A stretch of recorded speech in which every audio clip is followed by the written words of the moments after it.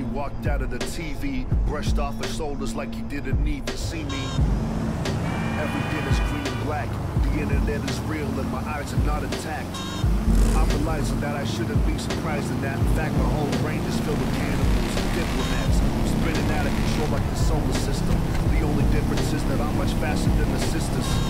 Kissing babies and shaking hands on forsaken land. This is America, the product of an empty plan. And I'm American, so I guess I'm an empty man sitting in the studio with few friends and many fans. My job consists of peeling layers off like minivans, them in the tracks so I can sell them for a big advance.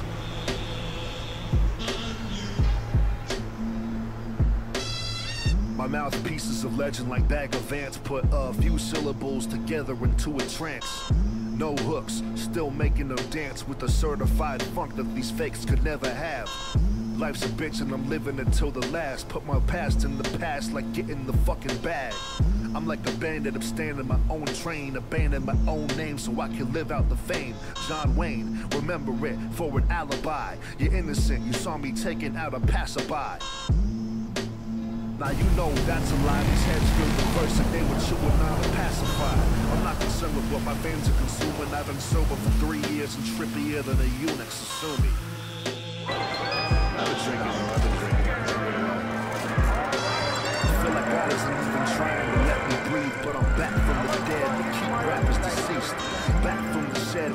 With emphatic disease, keeping fans on the feet like rats grabbing the cleats.